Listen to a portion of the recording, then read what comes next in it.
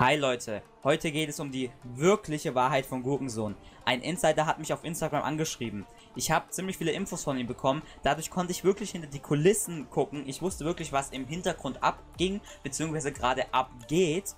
Und das will ich euch nicht verheimlichen. Sowas muss an die Öffentlichkeit, denn was da abgeht, ist nicht mehr normal. Manche fragen sich noch, wieso war Gurkensohn überhaupt ein halbes Jahr fast inaktiv?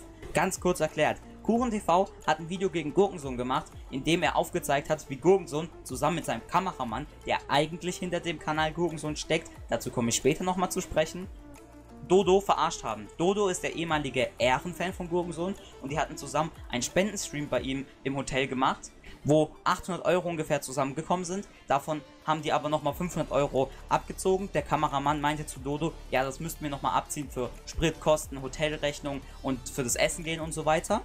Dann hat Dodo von den 800 Euro nicht mal die Hälfte und zwar 300 Euro bekommen. Das ist natürlich Verarsche und meiner Meinung nach rechtlich gesehen auf jeden Fall eine Unterschlagung. Und an alle, die früher bei dem Stream was gespendet haben, ihr könntet jetzt auch Gurkensohn für Betrug anzeigen. Denn er hat euch vorgemacht, dass das Geld, was ihr spendet, an Dodo geht. Es ging aber nicht alles an Dodo, heißt, es ist ein Betrug. Gurkensohn ist nicht Gurkensohn, denn die Person vor der Kamera ist einfach nur eine Marionette, die von dem Kameramann Jonas S. gesteuert wird. Jetzt fragt ihr euch, ob sich das geändert hat, nachdem Gurkensohn fast ein halbes Jahr inaktiv war. Hier die Antwort. Auf jeden Fall kann ich dir sagen, dass Jonas Gurkensohn zu Hause rumhängt. Sein Auto steht oft vor der Tür. Als Beweis, dass der Insider im guten Kontakt zu Jonas steht bzw. stande, hier einmal ein Foto von den zwei. Den Insider habe ich rechts natürlich unkenntlich gemacht, zum Schutz seiner Anonymität. Wo ist dein Kameramann? Belehrt! Da ist er, aber, Da ist aber er. er, Er, er ist Gurkendiebskameramann. Ja, moin. Hey, machst du die, bist du verantwortlich für die ganzen äh, Filme oder was?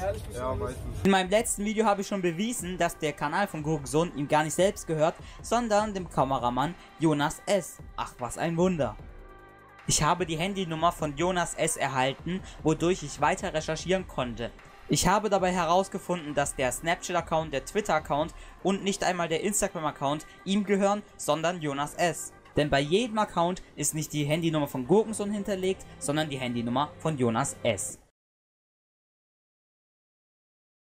Ja, wie soll ich das sagen, er wurde früher gemobbt und hat jetzt nicht so die beste Kindheit gehabt und deswegen hat er wahrscheinlich in der Rolle des Gurkensohns so ein bisschen Fame ähm, gewidmet, äh, wie schnell, berochen. So.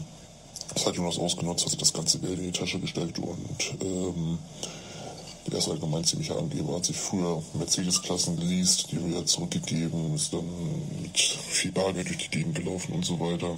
Ja. Viele kennen Ben Lexer nicht und die, wo ihn kennen, würden sagen, es ist Gurkensohn 1.0. Damit haben sie wahrscheinlich sogar recht. Denn mir hat der Insider bestätigt, dass Jonas es schon mal mit anderen YouTubern abgezogen hat, was er jetzt mit Gurkensohn macht. Ihn einfach als Marionette bloßstellen. Jetzt liegt die Vermutung natürlich sehr nahe, dass es Ben Lexer ist. Er konnte nicht bestätigen, wer, er konnte nur bestätigen, dass er es gemacht hat mit jemand anderem. Wie gesagt, es ist immer noch ein Gerücht, aber ein relativ realistisches Gerücht. Was denkt ihr? Ist es Ben Lexer, mit dem Jonas es schon mal abgezogen hat oder nicht? Schreibt mal in die Kommentare. Manche denken, TMK ist der Kameramann.